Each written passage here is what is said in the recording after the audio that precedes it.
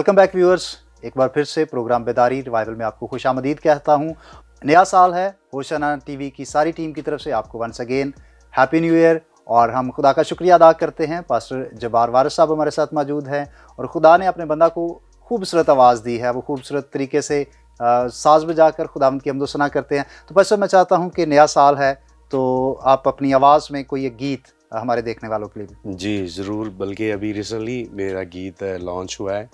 और मैं चाहता हूँ कि मैं आपके साथ और व्यूवर्स के साथ वो शेयर करूँ और हम गाएँगे मिलकर नए साल के हवाले से ही।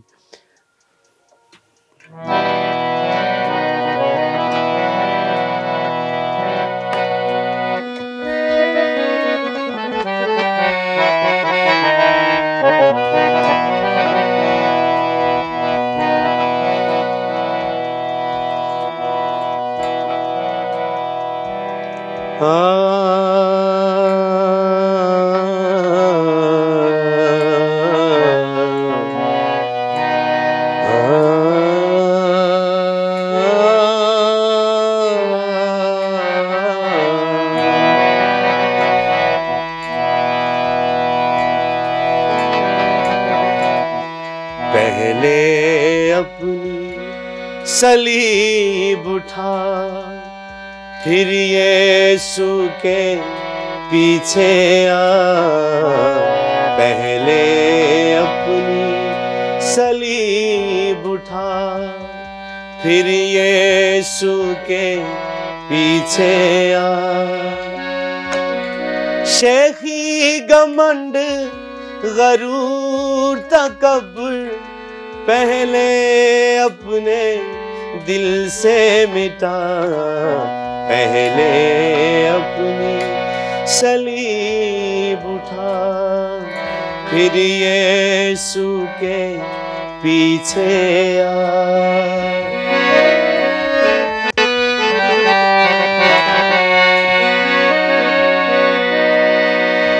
बदियों का रास्ता छोड़ कर यीशु की राह अपना ले।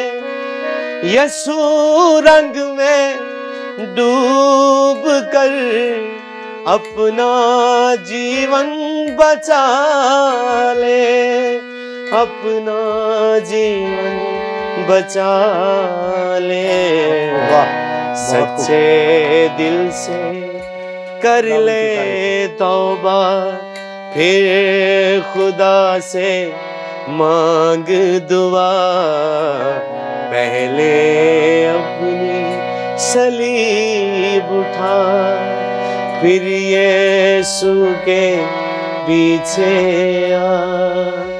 फिर यीशु के पीछे आ। फिर यीशु के पीछे आ।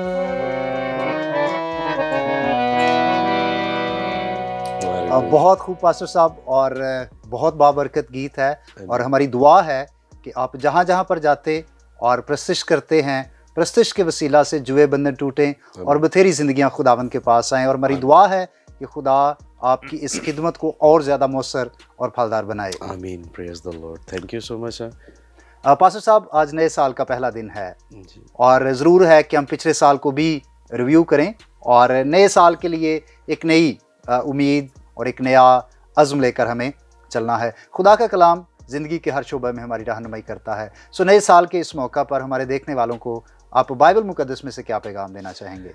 जी ज़रूर हम इस पर बात करेंगे क्योंकि खुदावंद का ज़िंदा कलाम जो है वो हमारी ज़िंदगियों के लिए हमेशा बाबरकत रहता है और जब हम खुदावंद के कलाम को जो सबसे बड़ी सच्चाई है हम अपनी ज़िंदगी में लेकर चलते हैं तो खुदा हमें तमाम मुसीबतों से, परेशानियों से हमेशा बचाता है और हमारे साथ रहता है। सो मैं नए साल के इस मौका पर आप सबके लिए जो व्यूवर्स हमें देख रहे हैं कलाम मुक़दस में से ज़बूर की किताब और उसकी ज़बूर नंबर सिक्सटी फाइव है, पैंसठ ज़बूर और उसकी ग्यारहवीं आयत को मैं आपके साथ शेयर करना चाहता हूँ। यहाँ पर लिखा है, तू साल को अपने लुत्फ का ताज पहनाता है और तेरी राहों से रोगन टपकता है। पाकलाम का पढ़ा और सुना जाना हम सबों के लिए बाईस बरकत हो। खुदावन का शुक्र हो। अज़ीज़ों मैं इसके बारे में थोड़ा सा ये बताना चाहता हूँ कि जिस तरह अभी भाई साहब कह रहे थे कि पिछले साल को भी हमने रिव्यू करना है। बेशक पिछले साल के अंदर जो हमने सीखा है, जो हमारी ज़िंदगी में आया और जो नहीं आया और जो हमने हासिल किया या नहीं हासिल किया आ, मेरा ईमान है कि जब हम आ, खुदा के साथ लिंक होते हैं हम खुदा के साथ चलते हैं तो खुदा हमारी बरकतों को कभी रुकने नहीं देता बल्कि उस सिलसिले को जारी और सारी रखता है। जैसे मैं आपके साथ अभी अपनी गवाही शेयर कर रहा था और मैंने जब से अपना आप खुदामंद को दिया है मैं खुदामंद की शुक्रगुजारी करता हूँ और ये बात मैं गवाही के तौर पर बयान करता हूँ कि शायद मेरी जो अपनी औकात है, शायद वो साइकिल ख़रीदने की भी नहीं थी। लेकिन जब मैं खुदा के साथ चलना शुरू हुआ, जब मैंने अपना मसीह के साथ जोड़ा तो मसीह ने मेरे हर आने वाले पल को, आने वाले तमाम सेकंड्स को, महीनों को, दिनों को बाबरकत बनाया। और खुदावंद ने मुझे ये बरकत दी कि मैं खुदा की तमजीद करता हुआ, खुदा की स्ताइश करता हुआ, हर एक साल में जब से मैंने अपना मसीह को दिया है, मैंने हर साल में अपने ज़िंदगी के अंदर बरकतों के सिलसिले को बढ़ता हुआ देखा है, क्योंकि लिखा है कि तू साल को लुत्फ का ताज पहनाता है। पूरे साल के लिए खुदा आपकी हफाजत करता है। पूरे साल में खुदा आपके साथ रहता है, बल्कि मैं ये कहने से शर्माऊँगा नहीं, आने वाले सालों को भी खुदा ब्लेस करता है, क्योंकि बाइबल के अंदर लिखा तेरी राहों से रोगन टपकता है, कि जिस राह पर भी तू चलता है, खुदा उस रास्ते को बाबरकत बनाता है, खुदा उस मंजिल को जितनी चीज़ें आप यूज़ करते हैं, उन तमाम चीज़ों को बाबरकत बनाता है। हमने बहुत दफ़ा वो आयत सुनी है कि क्योंकि खुदा ने दुनिया से ऐसी मोहब्बत रखी कि उसने अपना इकलौता बेटा बख्श दिया ताकि जो कोई उस पर ईमान लाए वो हलाक ना हो बल्कि हमेशा की ज़िंदगी पाए। तो अगर हम हमारे पास हमेशा की ज़िंदगी रूहानी तौर पर भी है लेकिन जितनी देर हम अपनी जिस्मानी ज़िंदगी में भी ज़िंदा रहेंगे उतनी देर हम बाबरकत रहेंगे। हम बरकतों से बढ़ते जाएँगे। हमारी बरकतों का सिलसिला खुदा रोकेगा नहीं बल्कि हमारे साथ जो चीज़ें अटैच हैं जैसे हमारी आमदो रफ्त है हमारा आना जाना रहना है, हमारा खाना पीना, उठना, बैठना, सब कुछ बाबरकत हो जाता है। क्योंकि खुदा के साथ हमने उस नए साल की, उस नए दिन की, उस नए लम्हे की शुरुआत की है। तो जब इस दिन में जो कि हम आज मना रहे हैं न्यू ईयर का ये दिन खूबसूरत जो खुदा ने हमारी ज़िंदगी में दिया है तो मेरा ईमान है कि जब आप इस साल का ये जो दिन है, इसका आगाज़ खुदावंद के नाम से कर रहे हैं। और आज ही अगर आप ये फ़ैसला करते हैं कि पूरे साल के अंदर खुदा मुझे बाबरकत बनाए और मेरी ज़िंदगी में हर तरह की बरकतों को रमा दवा रखे। मेरी दरख्वास्त है कि इस प्रोग्राम के वसीला से, इस चैनल के वसीला से जो आप ये प्रोग्राम देख रहे हैं तो आप ज़रूर ये फ़ैसला करें अपनी ज़िंदगी के अंदर कि जब आप खुदा के साथ लिंक होंगे तो खुदा अपनी बरकतों का दरवाज़ा हमेशा आपके लिए खुला रखेगा।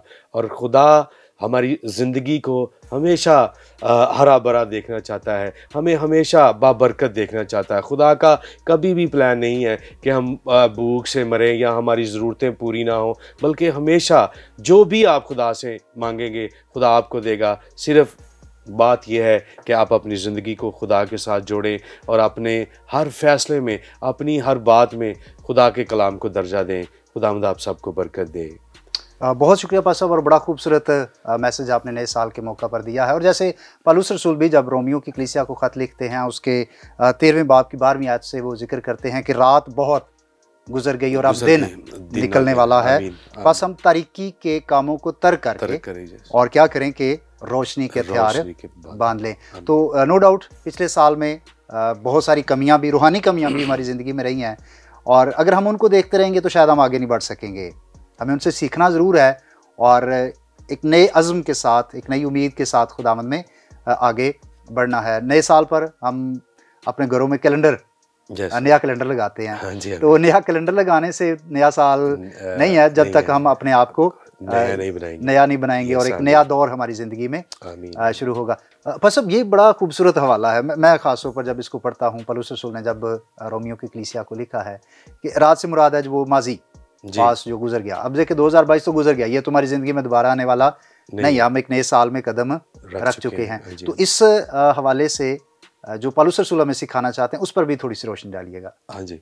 अभी आपने जो हवाला पढ़ा उसमें वो कह रहा है कि नई सुबह नई नई रोशनी नया दिन जो है। तो कलाम के अंदर लिखा है यसु मसीह कहते हैं दुनिया का नूर मैं मैं हूँ। और सुबह का चमकदार सितारा यानी कि अगर जब हम मसीह के साथ चलते हैं तो तारीकी जो है वो अबलीस के कामों को और अबलीस के प्लानिंग्स को ज़ाहिर करती है बाइबल अकॉर्डिंग टू बाइबल। और जो रोशनी है जो नूर है वो हमें मसीह के बारे में बताता है। सो so, पालूस ये कह रहे हैं कि आप जो पुरानी ज़िंदगी है जो गुज़र गया है उसकी तरफ़ वापस नहीं जाना बल्कि हमने आगे बढ़ना है। कमाल और फरोतनी की तरफ़ बढ़ना है। हमें आ, मैं एक अक्सर बात करता हूँ चर्च में कि लोग आ, कहते हैं कि पलूस कहते हैं गुस्सा करो। आप हमें गुस्सा करने से रोकते हैं। तो मैं ख़ास तौर पर यह बात करना चाहता हूँ कि आप गुस्सा ज़रूर करें। मैं भी मना नहीं कर रहा हूँ पलूस भी नहीं कर रहे लेकिन वो कह रहे कि गुनाह ना करो। हाँ, आगे जो अगला हिस्सा अगली बात जो है वो कह रहे हाँ। गुनाह ना करो। मीन्स के अगर मैं गुस्सा करता हूँ तो मैं किस बात पे गुस्सा करता हूँ? मुझे आज इस बात पर तो गुस्सा आता है कि मेरा नया सूट रेडी नहीं है। मेरे लिए खाना गर्म नहीं है। मेरे लिए चाय गर्म नहीं है। चाय अच्छी नहीं है। इन सारी बातों पर हमें गुस्सा आता है। पालूस जिस बात के लिए कह रहे हैं कि गुस्सा करो, वो बात है, आज मैंने दुआ क्यों नहीं की है? आज मैंने बाइबल स्टडी क्यों नहीं की है? आज मैंने वर्शिप क्यों नहीं की है? मैंने अपना रूटीन वाला जो रोज़ा है जो खुदा का कलाम मुझे कह रहा है वो मैंने एक वीक में वो क्यों नहीं रखा? इन बातों पर हमें कभी भी गुस्सा नहीं आता है। सो so, इस नए साल में मैंने उन तमाम बातों को छोड़ना है जिन्होंने मुझे मसीह के तरफ़ जाने से रोका। अब मुझे किन बातों का आगाज़ करना है? मुझे उन बातों का आगाज़ करना है जो मुझे मसीह की तरफ़ लेकर जाए जो मुझे कलाम की तरफ़ लेकर जाए जो मुझे मसीह के करीब तर लेकर जाए क्योंकि कलाम में लिखा है खुदा के करीब आओ तो वो तुम्हारे करीब आएगा। आएगा आमीन। बहुत शुक्रिया पास साहब और प्रोग्राम के अख्ताम पर आप अपनी ज़िंदगी अपनी स्ट्रगल अपनी मेहनत को सामने रखते हुए इस नए साल के मौका पर यूथ को ख़ास तौर पर क्या पैगाम देना चाहेंगे? जी आ, मैं ये कहना चाहता हूँ जितने भी मुझे देख रहे हैं ख़ास तौर पर नौजवान जो हैं इस प्रोग्राम को देख रहे हैं मैं उनसे कहना चाहता हूँ कि आप इस नए साल में अपनी ज़िंदगी मसीह को दें। और जैसे मैंने अभी गीत गाया पहले अपनी सलीब उठा फिर यीशु के पीछे। सलीब का मतलब यहाँ पर है अपनी खुदी का इनकार करना अपनी ईगो को पीछे छोड़ना और मसीह को अपनाना ताकि जब आप मसीह को अपनाएँ तो आपकी ज़िंदगी बाबरकत हो और आप हकीकी तौर पर अपने ज़िंदा रहने के उस मतलब को समझें और हमेशा खुदा के साथ व्यवस्थ रहें। खुदा मद आपको बरकत दे। खुदा आपको भी पादरी साहब बरकत दे और बहुत बहुत शुक्रिया आप तशरीफ़ लाए यकीनन। और मैं उम्मीद करता हूँ कि आज का ये प्रोग्राम होशाना टीवी के देखने वालों के लिए बायस बरकत रहेगा। Thank you sir God bless you एक दफ़ा फिर मैं ये चाहता हूँ कि होशाना की सारी टीम को सारे व्यूवर्स को जो हमें देख रहे हैं, उन सबको नया साल बहुत बहुत मुबारक हो। खुदामंद आप सबको हमेशा कायम और दायम रखे और आप हमेशा इसी तरह इस चैनल के वसीला से, इस प्रोग्राम के वसीला से खुदावंद के कलाम को सीखते रहें और इन गवाहियों के वसीला से बरकत पाते रहें।